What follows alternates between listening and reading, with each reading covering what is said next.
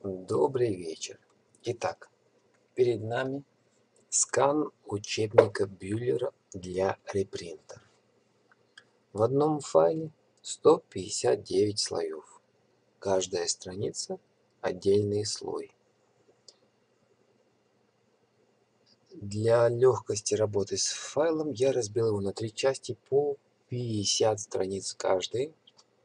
Иначе файл размером 700 мегабайт может убить Photoshop. Итак, берем список опечаток.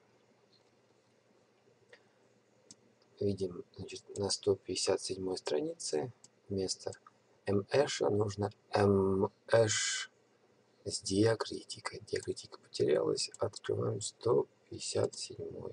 Включаем глазик. Глазик виден. MH. H, H.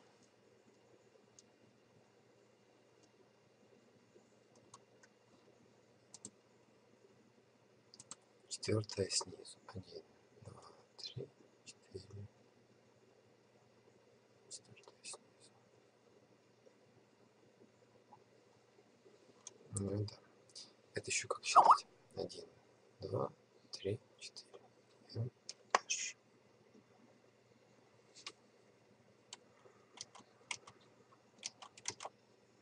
А, Ctrl плюс подъезжаем. Используем сокращение на клавиатуре. Выбираем этот слой. Вот у нас выбран. Можем просто точку скопировать, но тогда нам нужно будет ее правильно поставить. А можем взять уже готовую букву М с правильно расставленной точкой. Ctrl-C, Ctrl-V. Только этот слой, конечно, должен находиться над, иначе его, будет- вот, его будет не видно. И на клавиатуру кнопкой переношу. Только наоборот, он должен быть над. Вот. И проверяю. Примерно там находится. Ну, Да, примерно там находится. Все. После чего я выделяю оба слоя. Ам, Merge Layers. Сливаю, чтобы вместо двух получился снова один слой. И его снова нужно переименовать. 157. Все. Я внедрил правку. В скане русского оригинального издания с комментариями Мави я прохожусь и все комментарии комменти- э, все комментарии комментирую. Итак, 150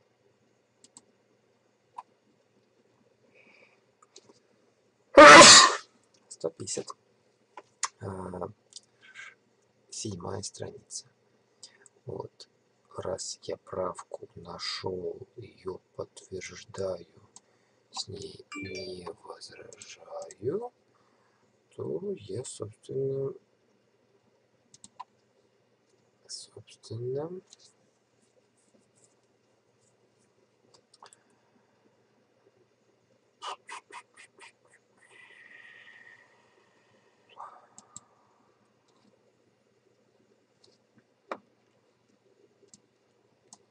беру ее из моего отдельного списка жму, как бы подтверждаю. Все. Жму сохранить.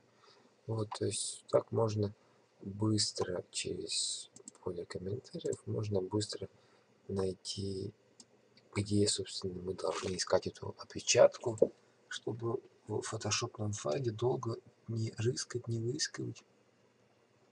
Очень удобно. Вот, то есть есть вордовский файл, опечаток. Опечатки помеченные цветом, они под вопросом, мы их не внедряем, а все остальные э, внедряем. Где-то для того, чтобы исправить опечатку, придется переставлять не просто одну букву заменять другой, а придется поколдовать. Ну вот здесь, например, У. Ее надо найти в другом месте. На другом слайде, на другой странице и оттуда копировать. Сначала я смотрю на той же странице. Вот, например, здесь У можно взять и перенести там, где его не хватает. Вот. У шакала не хватает. Вот. Есть разные печатные дефекты. Вот как здесь, собственно, Дандл оторвал. По-хорошему такие вещи надо восстанавливать, но не упоминаю список опечаток. У нас есть большой список опечаток, 600 опечаток. Там много справедливых замечаний, что убежала Верама. По-хорошему, ее, конечно, бы восстановить, но не оговариваю. Вот. То есть делаем такие заплатки. При этом здесь у нас мусор. Ну, мусор этот нам не нужен. Мы его выделяем и убиваем. Потому что там достаточно большой мусор. Если его оставить, он, он будет виден в книге. Зачем? Есть вещи, которые нельзя назвать типографическим дефектом, но плохо пропечатанные, плохо пропечатанные. Можно найти более удачный вариант и скопировать, и получится Яова, она вполне полноценная. Вот здесь крошта О хороший, четкий значок, а Ау плохенький. Но это уже по мере, так сказать, когда список из 300 печаток будет внедрен, тогда уже можно улучшать, предела этому нет. Иногда, чтобы поместить правку, надо передвигать чуть ли не все слова в строчки. Иногда даже из строчки в строчку переносить. Более того, иногда правку невозможно внести, потому что она слишком существенна. Вот здесь, если вы увидите, средняя палочка, она э, направляющая, она должна совпадать с, э, с черной полосочкой, получается. Я сделал направо, и все равно она не вполне совпадает. То есть по-хорошему страницу надо немножко повернуть, пересчитать. То есть смотрим здесь сверху, ой, было лишнее. Двойной щелчок, чтобы подтвердить. Посмотрим. Да, более-менее. Хотя здесь слева повырезали, но думаю, что так лучше. Смотрим общий мусор. Совсем маленькие э, пятнышко пусть остаются. Надо распечатать, чтобы убедиться в том, что они не будут видны. Это скан очень большого увеличения, поэтому здесь то, что здесь отображается, она еще ничего не, нам не говорит. Вот, то есть в таком тексте, если исправить опечатку, то приходится каждую букву иногда ужимать, чтобы что-то поменять. Говорю, где-то будет просто невозможно такие надо отдельно помечать, как невозможно, то есть будем указывать их отдельно как-то.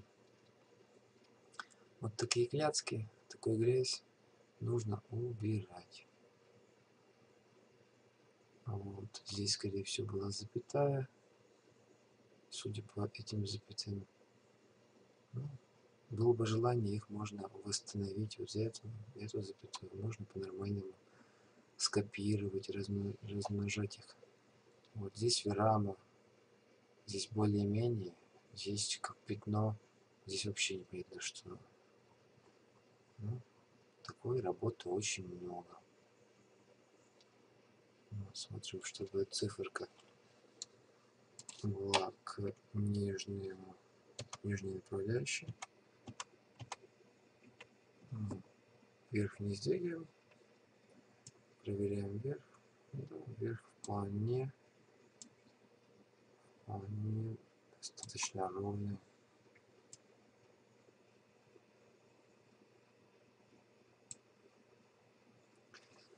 Вот как я работаю с репринтом, когда мне нужно делать заплатки. То есть сначала мы внедрим все опечатки, все исправления, а потом уже будем подчищать весь фон, делать его белым уже по готовому тексту. Спрашивайте, если что-нибудь непонятно.